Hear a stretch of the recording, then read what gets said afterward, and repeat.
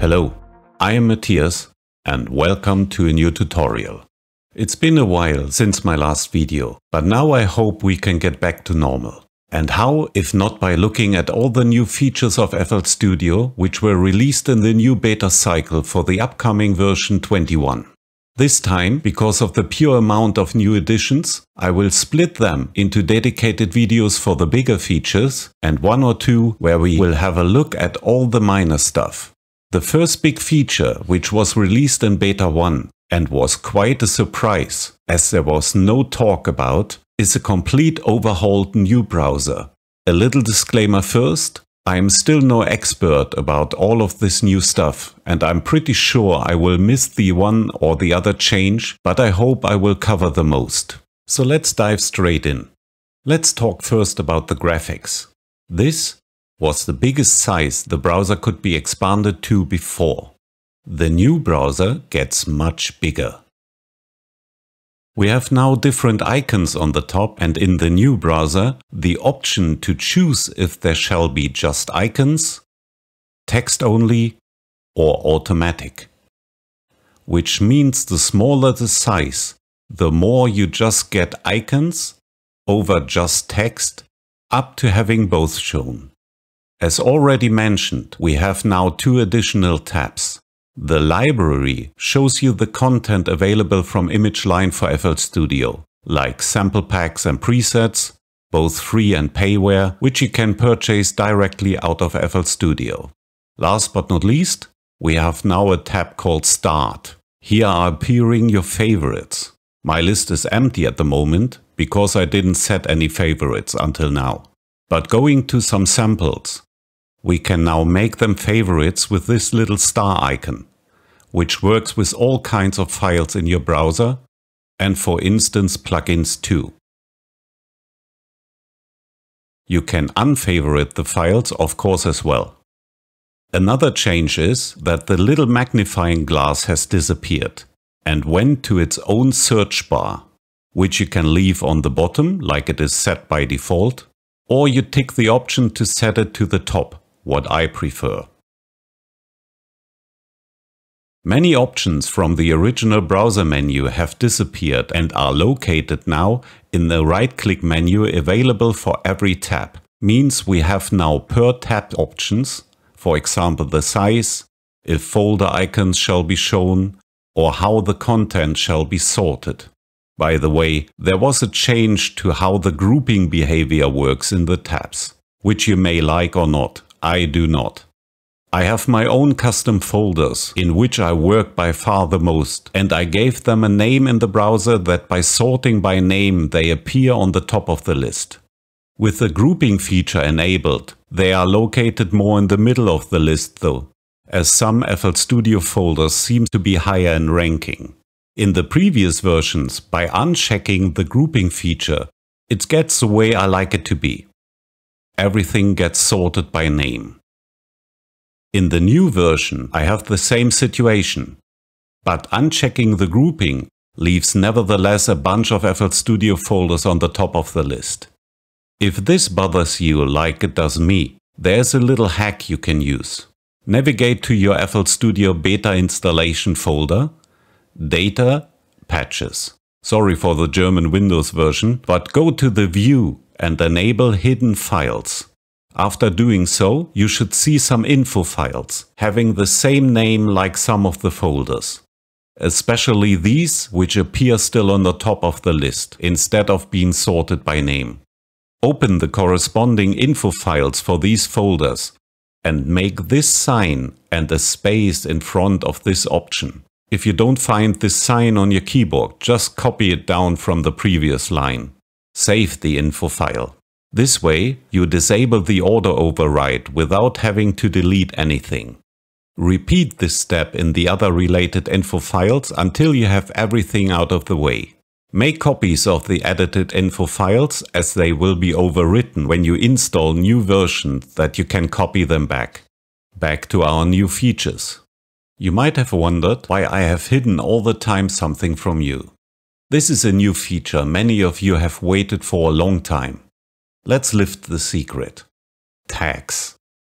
There are already a few predefined like showing the favorites, or plugins which are present in your plugin database, and just different VST formats installed on your system. But you can create your own and tag your complete library if you wish so. Let's go into the packs folder. Take a clap here and tag it clap. Boring, I know, but just for the sake of this tutorial. As soon as you have created a new tag, it will appear on the top and will be available in the right-click menu for easier access. You just have to check the option for others you like to tag the same way. Uncheck if you want to exclude the file or delete the whole tag. Tagging works for files and plugins as far as I've noticed, but feel free to experiment. I'm not very into tagging and will leave it by just showing this far, but I'm sure many of you will love it. There's another new addition which I was waiting for a long time. Well, actually two. The first one is a per tab option and has the simple name Show Preview. Hmm, no difference, but watch this. Play and stop button. Volume. And shift click into the waveform to play from this position. Yes. But still, I wasn't happy with it. Did I already mention that I hate this 5 seconds preview limit in FL Studio? because I, and most probably many others, were constantly whining, there was included some time ago the option to alt-click a sample to preview it full length. Already better, but this just works with mouse clicking, while my preferred preview methods were always the arrow keys, and this alt method wasn't working there. But this is gone now. While the alt modifier still works, there is a new general option, full sample preview. And this now works with my beloved arrow keys as well.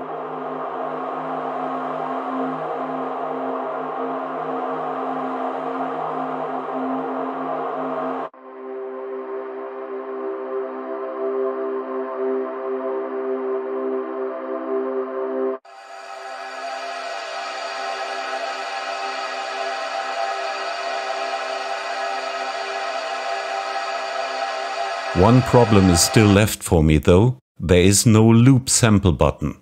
If full sample preview is enabled, it always stops at the end of the sample. Even if the sequencer is playing, it doesn't loop.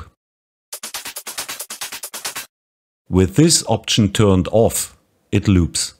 But here we are again with the lovely 5 seconds preview limit. I wish they would really get rid of this limit and implement a button into the preview, where every user can decide if the sample shall loop or not. Luckily, you don't need to turn off the full sample preview every time when previewing something which shall loop. Just use Alt left click to temporarily override it. As well as it still works for those not enabling this method, but wanting just to preview a single sample full length. The final big change in the new browser I am aware of are the different view layouts, which can be set per tab. The default one is base, which shows the browser content the way we know from before. The tree view separates the folders on the left side from the containing files on the right. The samples mode gives you basically the preview window for each sample this can be quite helpful to already judge by looking at the images. Like for example, are you looking for a shorter or longer sound? Or a more cleaner or distorted kick? If you know how a sound looks like in the waveform, it can be quite easy to find sound this way. For instance, attack kick 1 seems to be more distorted than attack kick 11, 12 or 13.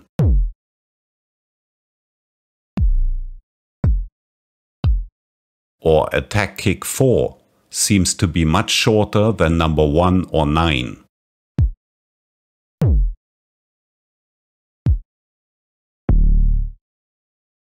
The view layouts depend though which tab you have selected. The Project tab doesn't have the Samples mode. The Plugins tab has a Plugins mode instead, for which you should have the option Show Images enabled.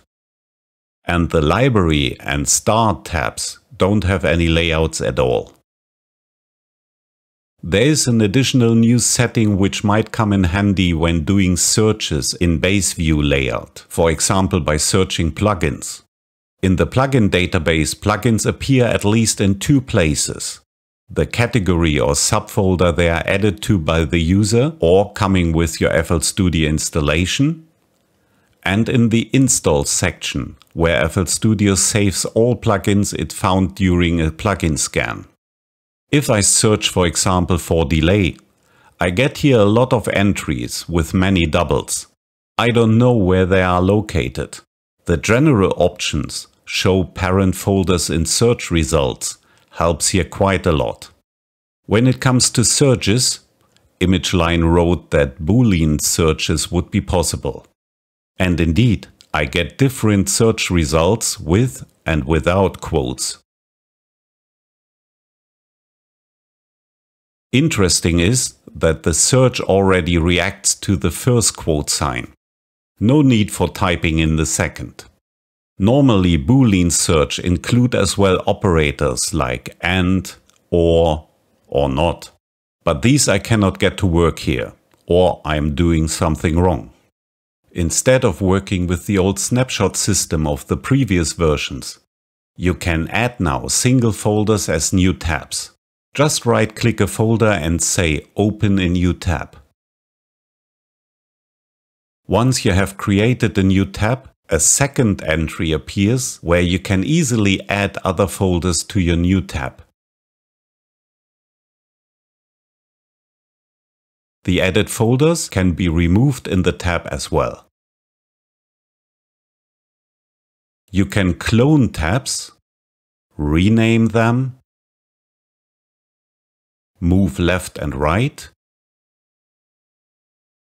hide them or bring them back, or of course delete them.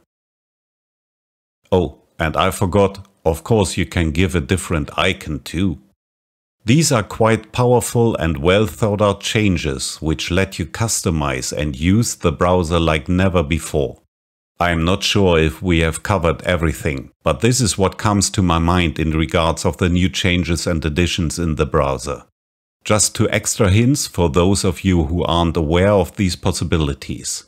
You are not limited to this browser position. Just drag the browser with its title bar to move it either docking to the right or even as a floating window, where the new bigger size comes in handy.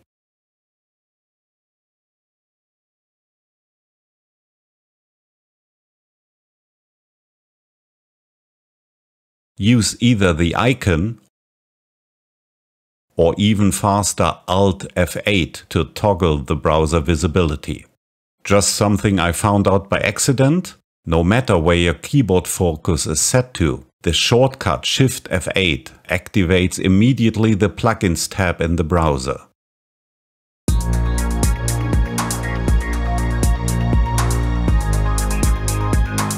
This is all for today.